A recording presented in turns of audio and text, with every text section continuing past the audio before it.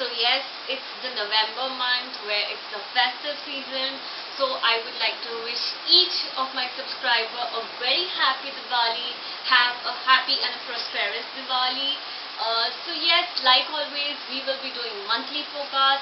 I have been just not sticking to the monthly motivational videos that I usually do for you guys, but I promise to be really regular on YouTube now.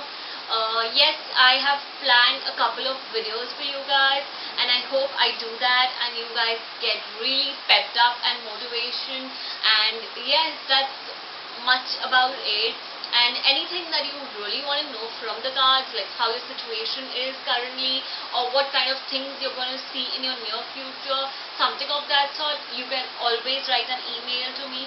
Yeah I have a couple of few angels who keep writing into me and you know giving me sort of motivation saying that yes this is working for us this is bang on and I love those comments because at the end of the day even I need my set of motivation and you guys are my motivation. So yes this was about it and let's get into it we move on to Gemini. I'm pulling out three cards from my tarot deck plus the angel message. So three tarot cards and the angel message. So let's see how your November 2015 looks like. The first card that I have for you is card of wands. Basically this card is telling you as soon as November starts, you are so looking forward for it. You know, in October only you had plans that I want to do this in November, I have to do that. So November itself starts with lot many expectations for yourself from yourself. So somewhere you are expecting way too much out of yourself. You know, you know somewhere that I don't think so I'm going to do it, but still you are expecting yourself to do it. So it's just saying, you know, just go slow, no matter you have to have to work but at the same time you don't have to you know put yourself into the stress zone because you are just running behind it. Be practical and look at all the possibilities and then work out. Uh, the next card that I have for you is a card of pentacles. Again this card is very much related with the first card wherein you know it says you are looking at all you know the possibilities and you're expecting way too much. At the same time this card tells you you know even after working you aren't really content. You feel like you have worked way too much and the results are not apt. Like they're not up to the mark.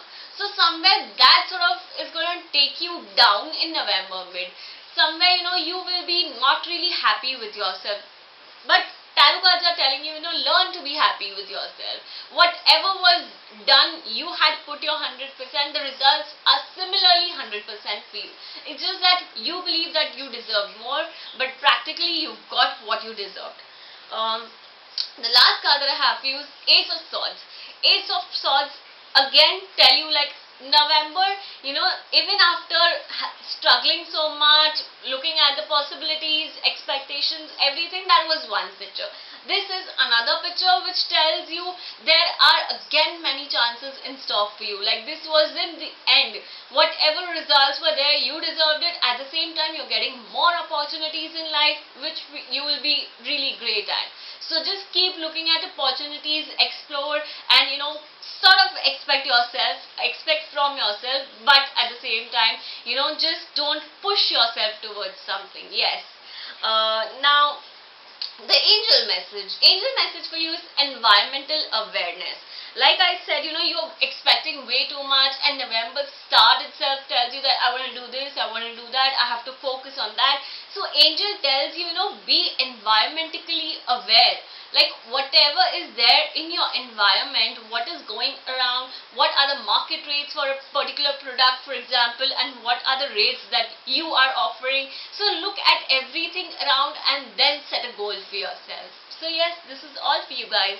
Stay tuned stay connected for my upcoming